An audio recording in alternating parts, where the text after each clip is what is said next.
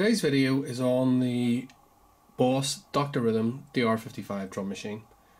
And what I'm going to do today is install this little mod by Artifacts NL.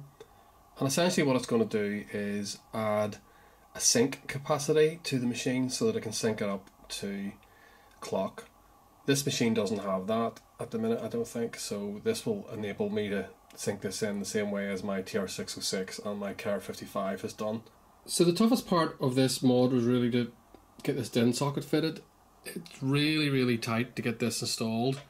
Uh, certainly where the foot switch socket is. So I had to cut the case away a bit and it's not as good as I'd like. I damaged the case here, a wee bit paint off, but I can touch that up, you know, but just really wasn't as good as I'd like to have done, but it's, it's okay. I'll just turn this around. You can kind of see the back of it here. Here's just a close-up of the uh, DIN-Sync plug and I'm wiring it up just as per the PDF on the Artifacts website.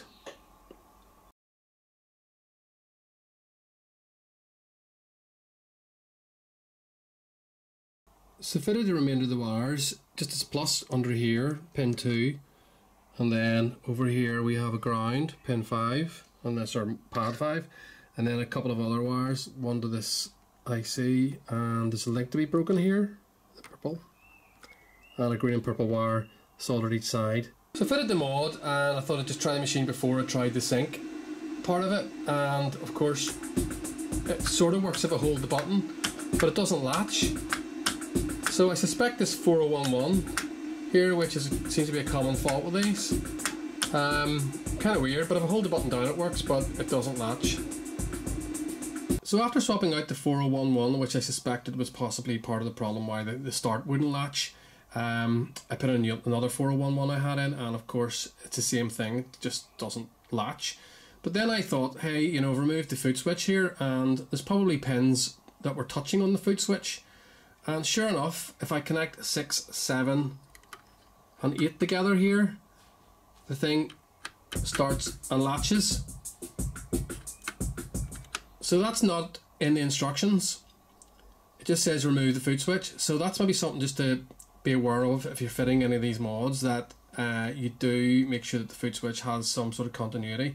I'll put up the um, circuit diagram here and you can see where the, the continuity is.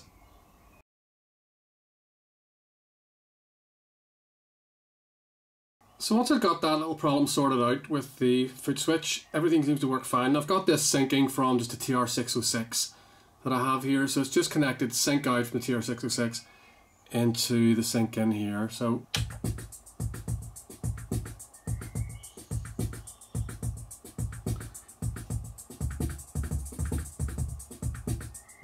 Now what you're hearing is the DR55, so it's not the 606.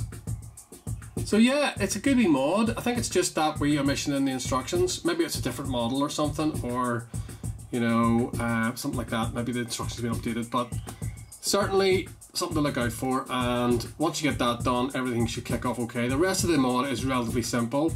Good instructions, nice and clear where you put the wires, different coloured wires, and the wires are all the right length to, to fit. So, you know, quite an easy mod to do. The big issue is trying to fit the thing into the case, the, the socket into the case. Uh, I made a bit of a pig's ear of it, but it's it's okay. You know, I, I did have a step down drill, but it kind of got stuck and nearly twisted my arm off. So, so you just wired in a, a small LED for start and stop on the clock.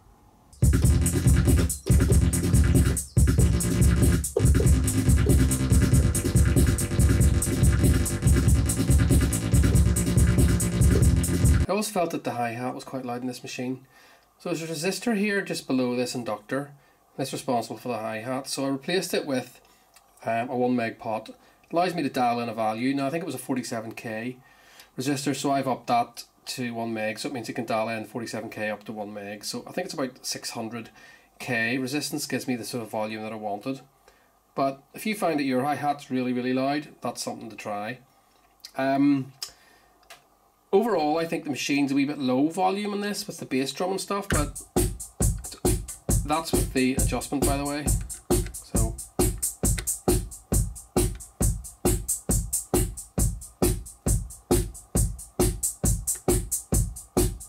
So that's just adjusted down.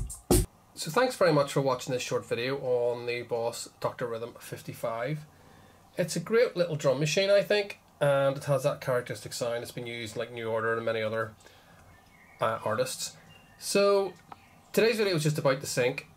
I did manage to get the sync working perfectly with the 606 but when I used it with Cubase through uh, MIDI to, to sync converter I found it was a wee bit clipped and slow and that happened in two different makes. So I'm not sure what's going on there but certainly it works fine with the 606 so I don't think it's the, the boss is at fault. So thanks again for watching and if you like this sort of thing like and subscribe and I'm sure I'll see you back next time for another Mindburner video.